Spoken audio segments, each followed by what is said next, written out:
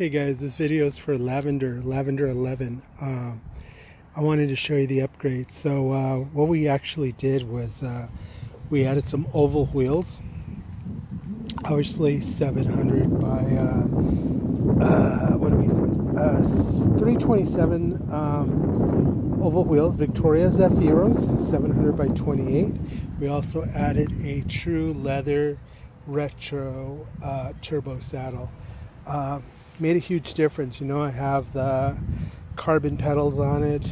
Uh, the only thing it really needs is some uh, new brake levers, uh, simply because I don't like the modulation. Uh, I also changed out the brake pads because these calipers actually work pretty damn good.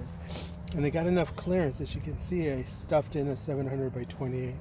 So it's a one by system. It's a one by eight. You know that. So uh, that's really the upgrade on the bike. It uh, made it a lot more compliant. Um, I'm probably going to change out the headset just because I want a smoother headset on it. But other than that, that's what we got going on. It's the 4130 State uh, 1x8. If you guys have any questions, let me know.